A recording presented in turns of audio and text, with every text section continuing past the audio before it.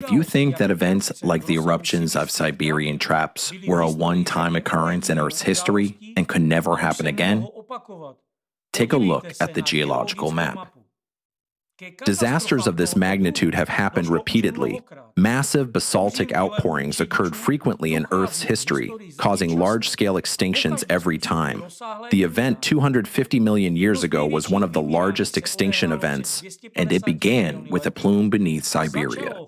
While Earth itself would endure such an event again, humanity and most living organisms would not.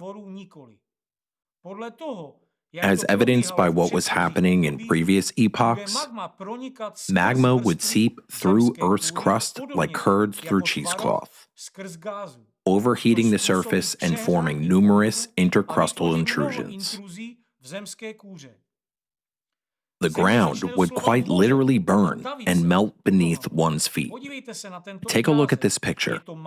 This map illustrates the distribution of effusive rocks in Siberia lava, marked in purple, and magma that solidified within the crust before reaching the surface,